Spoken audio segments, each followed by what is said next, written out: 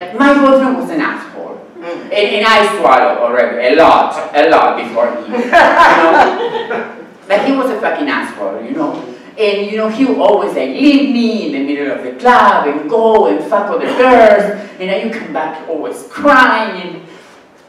And he always come back to me and you always open the door. But you know, that day I said, you know, if he leaves me tonight Azul, I'm not opening for him. You know, this is the last time that I do it. And she said, good. Mm -hmm. Good, because he's a fucking asshole. He's a fucking death asshole. And I go, that's horrible. And she said, yeah, no, it's horrible. it's not horrible. Because he's not an asshole because he's dead. He is an asshole who happened to be dead. Right? So I learned differentiation.